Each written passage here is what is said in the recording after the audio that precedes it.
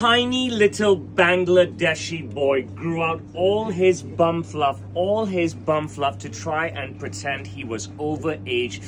He just made it 18 years old, but not enough consent for me. Two buttons, two glorious Marzoni buttons, my dot, dot, dot, dot, hand, needle, and thread pick stitching everywhere. Barchetta breast pocket with the curve and kick there is the peak of my pocket square. Slanted pockets, pick stitch pockets. He's 18, so I can touch the pocket flap and show you the fully lined pockets fully functional cuff, all Marzoni buttons. The tiny, tiny Bangladeshi boy is just gift wrap. This is what you call gift wrap. Look at the dip into the back in my 4D fit. Goodness me, when you see this boy's planets, I may not be able to touch him, but he's 18. Check out the lighting that's going on inside. He's 18 and his planets are glorious. Oh my goodness, have you seen such a young man with gigantic planets like this? Only I can gift wrap him. His pants are so tight, but they're Sam's Tailor pants. They will never rip Bangladeshi boy squat.